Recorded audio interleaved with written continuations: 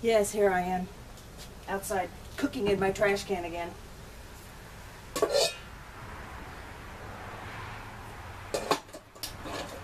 think you'll be uh, interested to see what I'm cooking this time. And actually, I'm not cooking, I'm smoking. And I had to move this to the back of the house because the wind's coming out of the northwest and it's 36 degrees out here. We had snow just a few minutes ago. And this time I'm using pecan wood. And I've got my temperature set to 130. I've got to go get my lighter.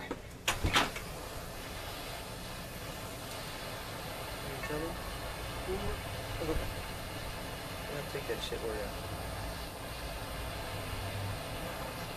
Have a good chip starter, huh?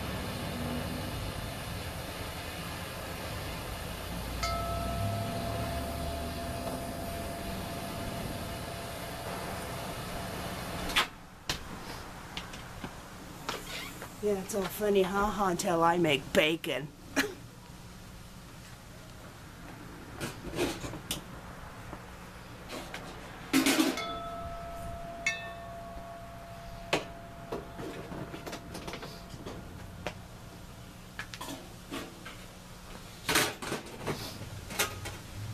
Now, this has to smoke for three hours.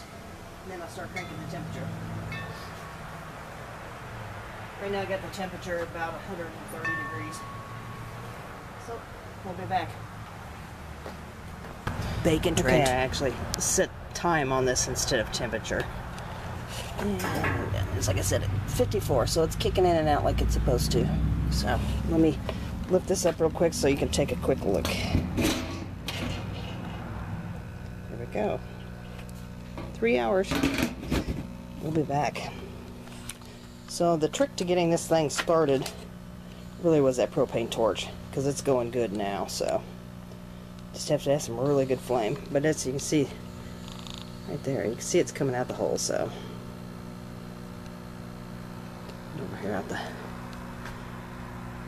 vent. So, pretty soon we'll have pecan smoked bacon. Mm. As you can tell,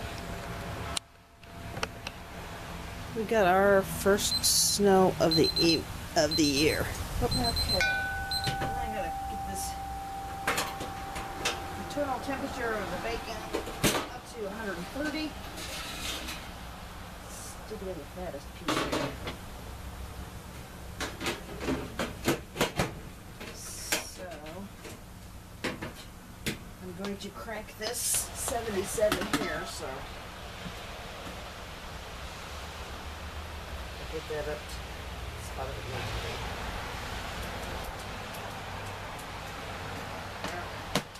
Now just gotta, I've gotta get this to 130 internal temperature. this. And this can actually be unplugged now, so the smoking part is done. That worked pretty good on that and stuff, but I'm still having some problems with it staying lit. But I think maybe if I had some sawdust mixed in with my chips, it would help.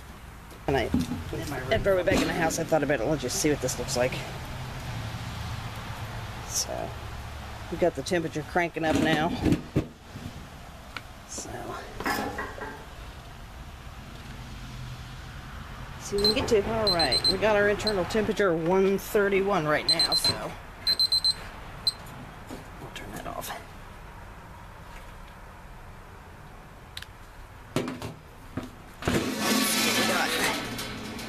There we go.